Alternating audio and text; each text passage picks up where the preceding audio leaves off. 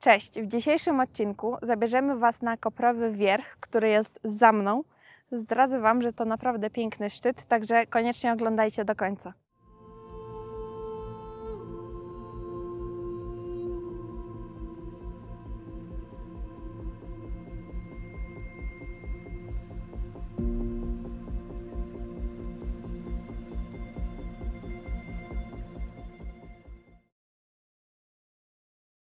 Początek naszego dzisiejszego szlaku jest w Poprackim Plesie.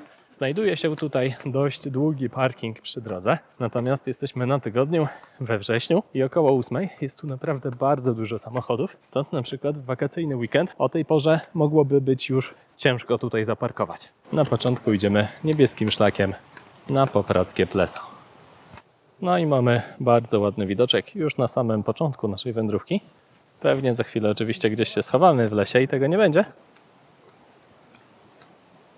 No i te pierwsze kilometry właśnie pokonujemy sobie lasem. Nietrudnym szlakiem, droga jest wyasfaltowana. No i co jakiś czas też ktoś przejedzie sobie rowerem, no bo po tej słowackiej stronie wolno. Delikatnie zbaczając ze szlaku na dosłownie 5 minut, możemy sobie jeszcze zobaczyć Poprackie Pleso, czyli takie typowe tatrzańskie jezioro pośród szczytów. Jest tutaj też jakaś gastronomia, także można sobie odpocząć, czy to idąc w pierwszą stronę, czy na przykład wracając już ze szlaku.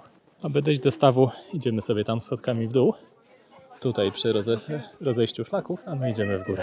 I po drodze można wziąć ładunek, no ale to jak idziemy na rysy, do chaty pod rysami i mamy herbatkę za darmo za wniesienie takiego sprzętu.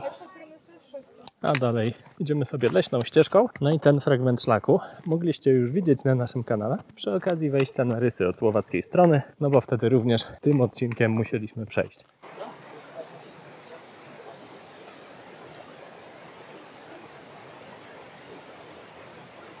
Wyszliśmy już z lasu, a tu takie przepiękne widoki. Aż chce się bardziej iść, mimo że będzie coraz bardziej pod górę. I mamy rozejście szlaków w prawo na rysy, a my w lewo na koprowy. Co, gorąco? No, teraz już na tym słońcu to zdecydowanie. No, że widoki super, to już mówiliśmy. No i myślę, że teraz też będzie szło się o tyle przyjemnie, że pewnie 3 czwarte ludzi, jeśli nie więcej, na rysy na pewno skręci, nie? A my tutaj jako pewnie mniejszość będziemy szli sobie na ten koprowy. No ale na pewno warto. Ale to jest przepięknie, naprawdę. Właśnie mijaliśmy centralnie na szlaku pana, który stał w samych gaciach, bo się przebierał pewnie. No ale no naszym zdaniem no to nie jest w porządku zachowanie, naprawdę. No dziwny temat, no można gdzieś sobie na bok odejść, nie? To nie jest plaża, no nie chcę chodząc po górach No albo też Oglądać jakieś jednak dziecko. gości w samych no. slipach. A tak normalnie to gdzie byś chciał? Że No w ogóle bym nie jest chciał, ale, plaża. no ale plaża czy basen to jest inaczej niż wiesz. W takim No miejscu tak, tutaj. no wiadomo.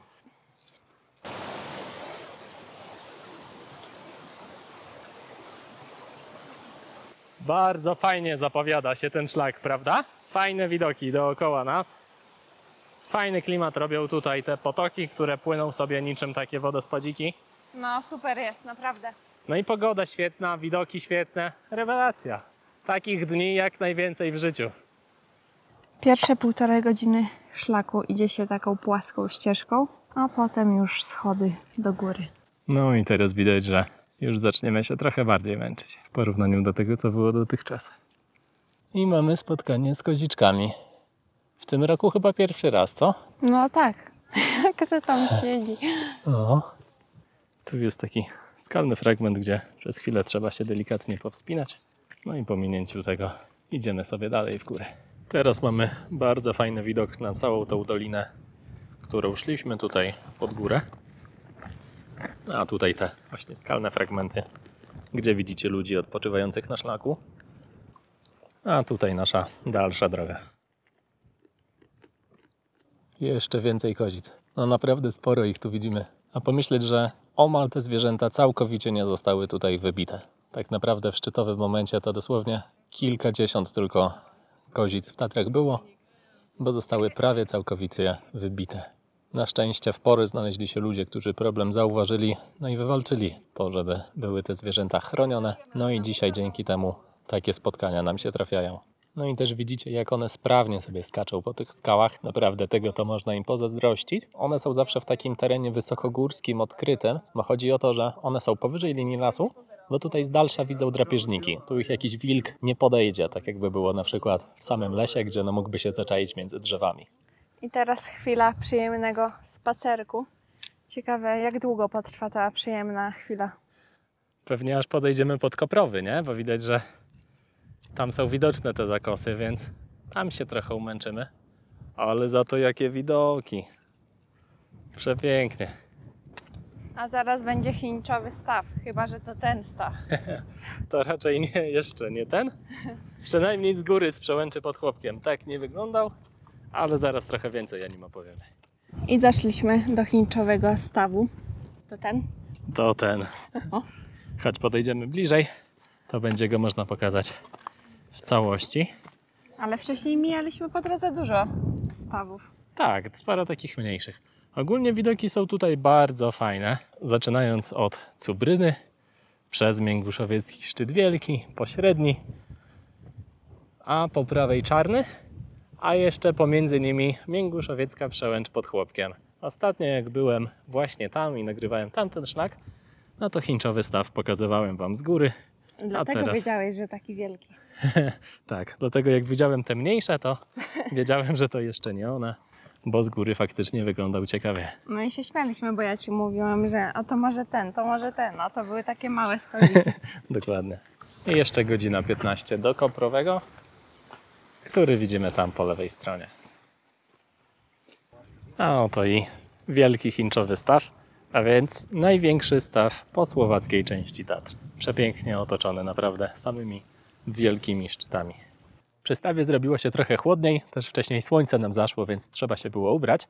A jak już wspominałem wcześniej o tej przełęczy pod Chłopkiem, to warto wspomnieć, że kiedyś był na nią szlak i z tego wielkiego chińczowego plesa, więc można było sobie wejść na nią na przykład od Morskiego Oka, a zejść tutaj, ale był to szlak dość stromy i kruchy, więc zamknięto go ze względów bezpieczeństwa. No i dzisiaj już legalnie w ten sposób przejść się tutaj nie da.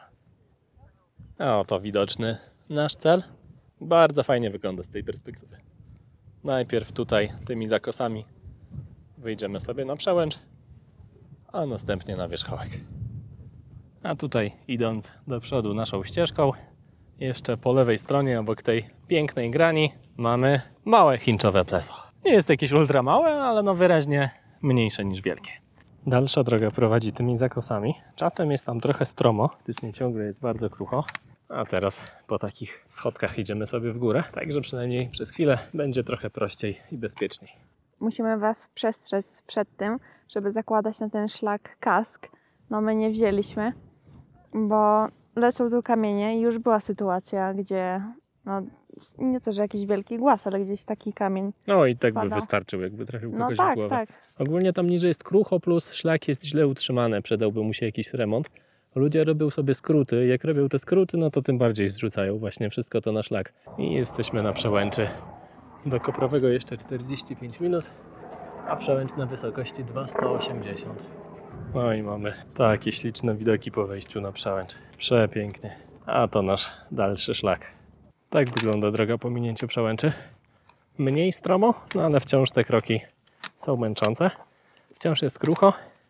W kilku miejscach ten szlak jest taki zawiły. Trzeba dość dobrze patrzeć, którędy faktycznie go wytyczono, a które to są jakieś wydeptane ścieżki, raczej mniej komfortowe od tego głównego szlaku. Nie zmienia to faktu, że tam niżej jakiś remoncik by się przydał. Zawiły i sypki. Zdecydowanie tak.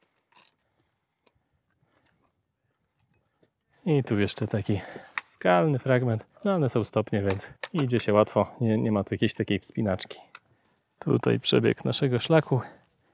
No i teraz przejście tym graniowym fragmentem. Tutaj tą przełączką pod górę, a tam już widać wierzchołek koprowego.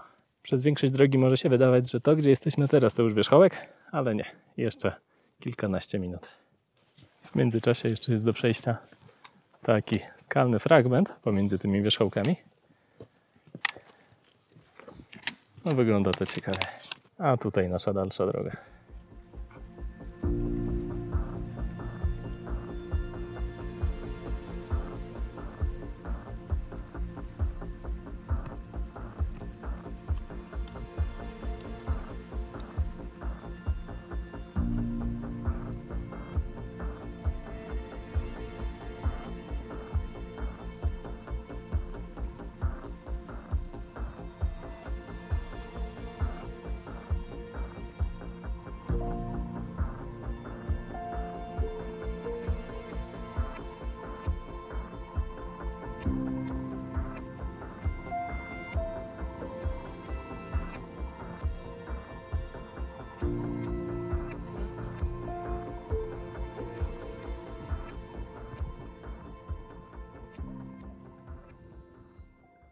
I jak Ci się podobają widoki ze szczytu? No jest przepięknie i nadal nie dowierzam, że ja tutaj weszłam. To w ogóle Twój najwyższy szczyt, co? No tak, nie obyło się bez łez, ale udało się. No ale super. Ogólnie no to już tak godzinę, jak godzina do szczytu została, no to już wtedy zaczęłam się bać. Mhm.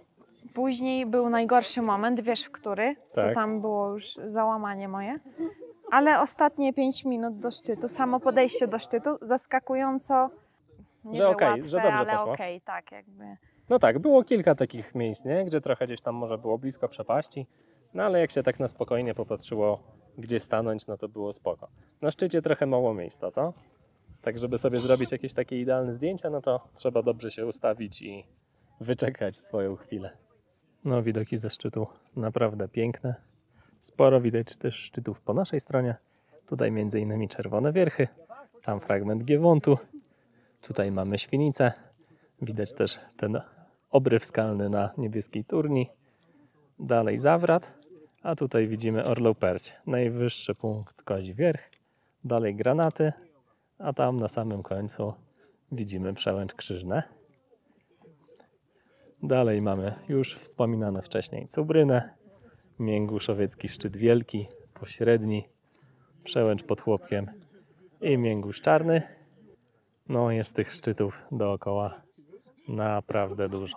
I to w każdym kierunku. Jeśli ktoś kiedyś powiedział, że widoki z Koprowego są piękne, to nie kłamał. Zdecydowanie warto tu przyjść. Zejście z wierzchołka do przełęczy były, było dość strome. No i na szlaku jest bardzo dużo takich małych, kruchych kamieni, więc naprawdę bardzo trzeba uważać. No nieraz noga nam się pośliznęła, aczkolwiek no dla mnie to było też na tyle traumatyczne, ponieważ kto, kto jest dłużej na kanale, ten wie, że mam lęk, taki lęk przed upadkiem, więc na górze się bardzo przestraszyłam. No udało mi się wejść na, na szczyt, bo walczę z tym powoli. No na pewno gdyby nie, gdyby nie Marcin, to tam bym nie weszła, bo mi dużo oczywiście pomagał. I szliśmy non-stop za rękę i teraz też jak schodziliśmy, szliśmy za rękę. No i co? No i schodzimy dalej. No i na koniec zrobimy jeszcze takie krótkie podsumowanie. No szlak na pewno jest bardzo kruchy, także trzeba uważać i wchodząc i schodząc na ewentualne potknięcie. No i pamiętajcie o tym kasku, bo naprawdę się przyda. W takim terenie są realne szanse, że ten kamień zleci. Zresztą sami byliśmy świadkiem tego. Kolejną rzeczą jest to, że pod koniec szlaku są elementy wspinaczki, więc osoby z lękiem mogą mieć tutaj problem. Ja też miałam, ale dałam radę. No i to, co trzeba podkreślić, to tak naprawdę przez cały przebieg tego szlaku są fajne widoki, bo zwykle jest tak, że na przykład jak zaczynasz, to długo idziesz lasem albo Mhm. coś, nie? Tego typu. A tutaj praktycznie mało tych fragmentów było. Od początku było widać te wysokie szczyty. No i jest naprawdę bardzo fajny rejon, fajne te wszystkie góry, piękny staw, także bardzo ciekawy przebieg szlaku. No i polecamy, warto tędy przejść. Nie, naprawdę, no szlak to nie wiem, czy nie zaliczymy do jakiegoś top. Myślę, że tak, na pewno zasługuje na to. Także co, schodzimy już tym samym szlakiem, którym wchodziliśmy, także nie będziemy tego zejścia pokazywać. Także widzimy się w kolejnym odcinku. Dziękujemy za wsparcie naszego kanału w serwisie Patronite. Jeżeli podobał Ci się film, to zostaw komentarz, subskrypcję i łapkę w górę. Obserwujcie nas na Instagramie i Facebooku, aby być na bieżąco z naszymi filmami. Wszystkie przydatne linki umieściliśmy w opisie tego filmu.